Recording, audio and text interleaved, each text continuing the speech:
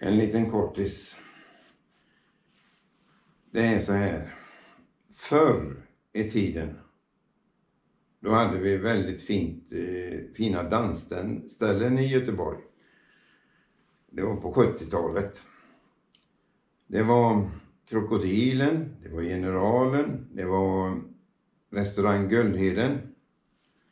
Där alla sjuksköterskor dansade. Mestadels på torsdagarna då var det fullt där. Då var man ju där och dansade givetvis. Och så var det, som jag sa, Generalen och Krokodilen. Men sen hände något. Jag frågade vaktmästaren där. Eh, ja, sa han, vi, vi är tvungna att lägga ner verksamheten. Herregud, varför då? sa jag. Det kan väl inte, det måste väl vara lönsamt här. Så fina dansband som ni har här och det var Sven-Ingvars, det var alla möjliga kända på den tiden. Mats Blad och, och så vidare och så vidare. Och det var jättetrevliga ställen. Vi hade hur skoj som helst där. Och då ställde jag frågan.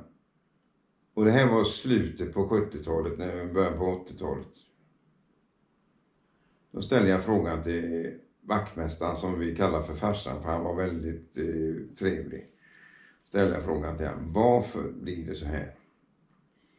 Jo, för det var långa köer till restaurangen. Det ska jag tala om för dig, Morgan sa han.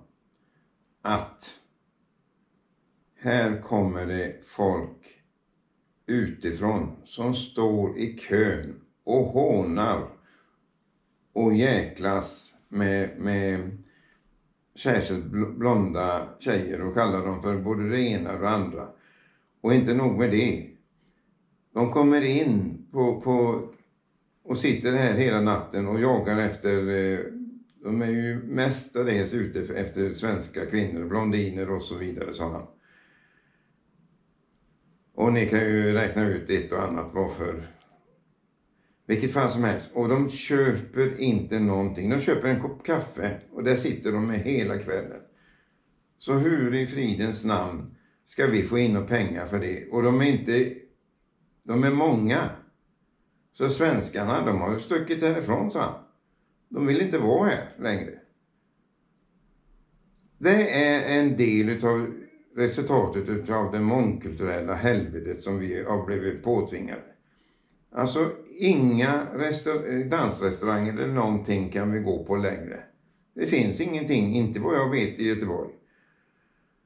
Uh, och sån där uh, eh, diskomusik, det är ju ingenting för oss lite äldre. Va? Alltså jag har ju, man har ju dansat till det sådär. Det, var ju, det kom ett tag på 70-talet också men det, bara, det har ebbat ut. Sen kom, har ju dansbands, riktig dansmusik kommit tillbaka igen. Det finns på landsbygden. Men varför ska vi stadsbor behöva åka ända ut på landet eh, för att dansa och så vidare? Det är klart. De är lyckligt lottade, de som bor där i närheten. De kan gå ut, för där är det inte sådana som stör i någon kö eller ställer till det för att det finns, de är, åker inte så långt. Det är städerna de härjade.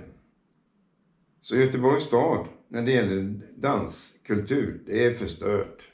Totalt. Det är jättetråkigt. Och det är tråkigt för de som ägde ställena också. Allihopa fick lägga ner i princip över en natt för det fungerar inte. Det fungerar inte helt enkelt. Med allt bråk och elände som var. Och det såldes knark inne i smyg på vissa ställen. Jag har pratat med poliser så att eh, jag vet vad jag pratar om. Jag säger inga namn. De har, viss, de har gått i pension nu också så att eh, det, det...